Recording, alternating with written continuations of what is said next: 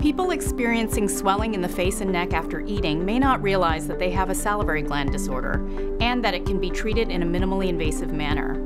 The salivary glands produce two to four pints of saliva in the mouth daily, which provides moisture, helps digest food, and prevents tooth decay. When these glands become obstructed, either from salivary gland stones or from strictures, blockage occurs resulting in swelling under the jaw or in front of the ear.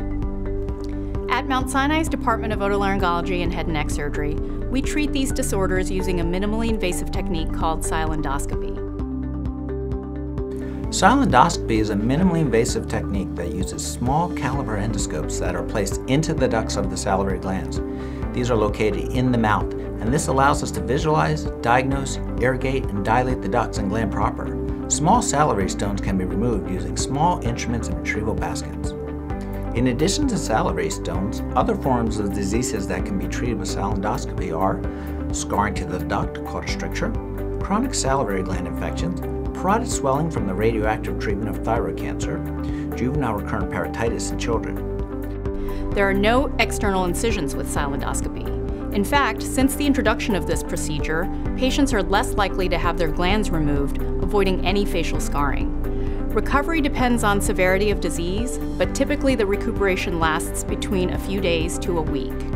This minimally invasive procedure saves recovery time and minimizes the risk of facial muscle weakness.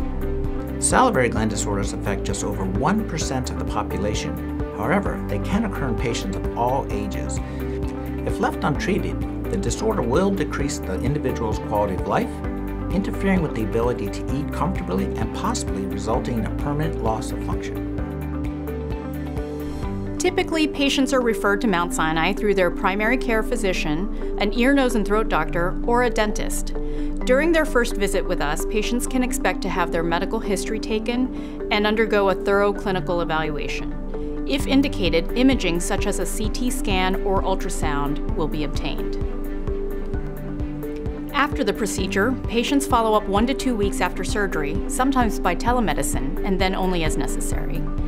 Mount Sinai is among only a handful of hospitals across the country offering sialendoscopy. Many offer open surgery, but patients should ask if sialendoscopy is an option at the facility in which they're being treated. Sialendoscopy is a procedure with technical nuances, and the learning curve is steep, so it's critical that patients seek a physician with experience.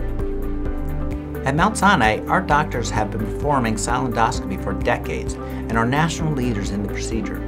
We now teach other doctors the technique, hosting one of the only advanced courses in the United States. We have performed thousands of these procedures and we are here to help.